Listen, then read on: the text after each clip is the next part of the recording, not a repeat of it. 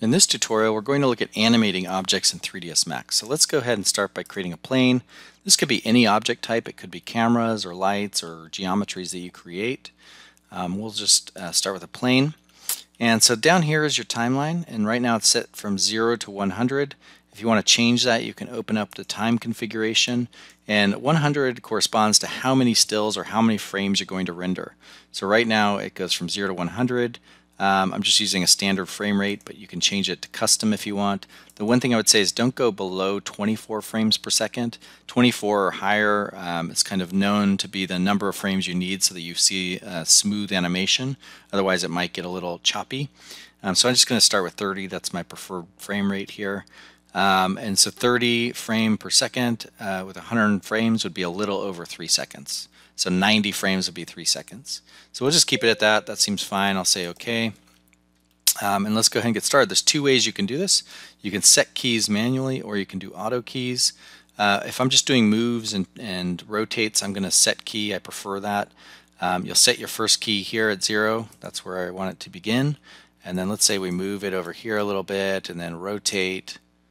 Let's rotate it a little bit that way we can then uh, move down to 50. Sorry, you have to move the, the um, timeline before you do these moves. So that's really important. You move the timeline, then you do your transformations, then you set your key. So I'll go down now to 100. I'll move it a little further. Let's move it a little bit over there. And I'll just rotate it again and set my key again. So now as I toggle along this timeline, you can see it moves and rotates uh, depending on where I set those keys. So the next thing we can do is actually make this a little more interesting. I'm going to hit Z and zoom selected. Let's add a modifier to this. So I'm going to add my bend modifier. And I found that with bend modifiers, it's better to do auto key. Any, any of the modifiers, I prefer auto key. So as you adjust it, as you change these parameters, it will automatically insert those keyframes. So now I'll set it to auto. And we'll begin here. We'll just set uh, this first one at zero. We'll move down, let's say to about 37 and I'll add this bend on the X. And you can see these little red uh, ticks that show up around the, the toggle arrows there. That means it's now an animated variable. So if I toggle this back, you see it goes from zero and then bends, and then we can go all the way to the end here and, and bend it even further. And so that's true of all these um, modifiers. So you can see it's now bending as it goes. We could add a twist modifier and uh, again, let's set that key at zero. We can maybe we start twisting it over here at 57. And you can see it again adds those variables. So that's true for all parameters. It's true for materials. You can change the um, like a texture, procedural texture, and animate it. You can change an extrude amount and edit poly, for example. All these kind of parameters that you have can be animated as long as your timeline is set and you're, you're auto keying as you go.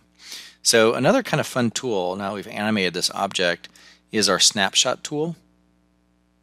And if you go here to Tools Snapshot, it basically creates a bunch of mesh meshes throughout that animation. So we can choose Mesh, we could say the range is from 0 to 100, and then how many steps, how many frozen geometries do you want along that path? So let's say we want, I don't know, let's go with like 15. We can then say OK, and it creates 15 uh, copies of that mesh from 0 to 100 along that timeline. So you get, if you move this, you can see it going through those different spaces. So that's kind of a neat way, and these are now meshes. So for example, I could select that. If I want that to be an edit poly, you could just right click and convert it to an edit poly, or you can add an edit poly modifier.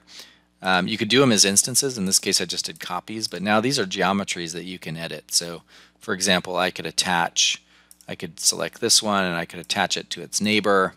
And now that these are attached, I could use, for example, like a bridge between those two and, and actually start to work between these geometries now that they are, are geometries in the scene.